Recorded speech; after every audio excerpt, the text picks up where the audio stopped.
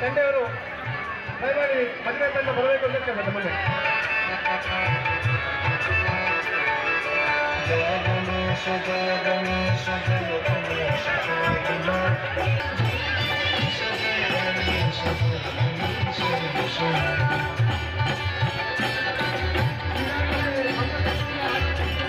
ಪೂರ್ತಿ ಕಾರ್ಯಕ್ರಮದಲ್ಲಿ ಭಾಗವಹಿಸಿ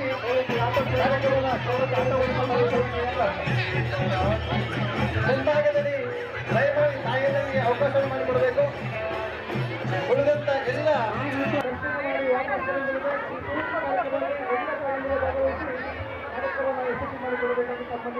ಈ ವರ್ಷವೂ ಕೂಡ ಅನಸೂಯ ದೇವಿ ಜಯಂತಿ ಅಂಗವಾಗಿ ಸಂಕೀರ್ತನ ಯಾತ್ರೆ ವಿದ್ಯುಕ್ತವಾಗಿ ಪ್ರಾರಂಭ ಆಗಿದೆ.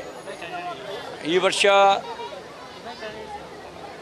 ಕರ್ನಾಟಕ ಸರ್ಕಾರ ಹಿಂದೂ ಅರ್ಚಕರ ನೇಮಕ ಮಾಡಿರೋದ್ರಿಂದಾಗಿ ಭಕ್ತರ ಮನಸ್ಸಿನಲ್ಲಿ ಸಂಭ್ರಮದ ಉಲ್ಲಾಸಗಳಿದ್ದಾವೆ. ಭಕ್ತಿ ಭಾವದಿಂದ ಅವರೆಲ್ಲರೂ ದತ್ತಾತ್ರೇಯ ಕ್ಷೇತ್ರಕ್ಕೆ ಹೋಗಿ ಇವತ್ತು ಮಾತಾ ಅನಸೂಯ ದೇವಿ ಪೂಜೆಯನ್ನು ಸಂಕೀರ್ತನ ಯಾತ್ರೆಯೊಂದಿಗೆ ಮಾಡೋರಿದ್ದಾರೆ. ಒಂದು ರೀತಿಯ ಸಂತೃಪ್ತ ಭಾವ ಇದೆ. ನಿರಂತರವಾಗಿ ಇದಕ್ಕಿರುವ ಎಲ್ಲ ಅಡೆತಡೆಗಳು ಕೂಡ ನಿವಾರಣೆ ಆಗಲಿ ಅಂತ ನಾನು ಭಗವಂತನಲ್ಲಿ ಪ್ರಾರ್ಥನೆ ಮಾಡ್ತೇನೆ. ಕೆಲವರು ವಿಧ್ವಂಸಕ ಕೃತ್ಯ ನಡೆಸುವಂಥ ಸಂಚು ಮಾಡಿದ್ದಾರೆ ಅಂತಕ್ಕಂಥದ್ದು ಆಘಾತಕಾರಿ ಸಂಗತಿ. ಅಲ್ಲಿ ರಸ್ತೆಯ ತಿರುವುಗಳಲ್ಲಿ ಮೊಳೆಗಳನ್ನು ಮೊಳೆಗಳನ್ನು ಹರಡಿ ಬಸ್ಸು ಅಪಘಾತ ಆಗಬೇಕು ಅನ್ನುವಂಥ ಸಂಚು ಮಾಡಿದ್ದಾರೆ ಅಂತಕ್ಕಂಥದ್ದು ಭಾಳ ಗಂಭೀರವಾಗಿರುವಂಥ ವಿಷಯ.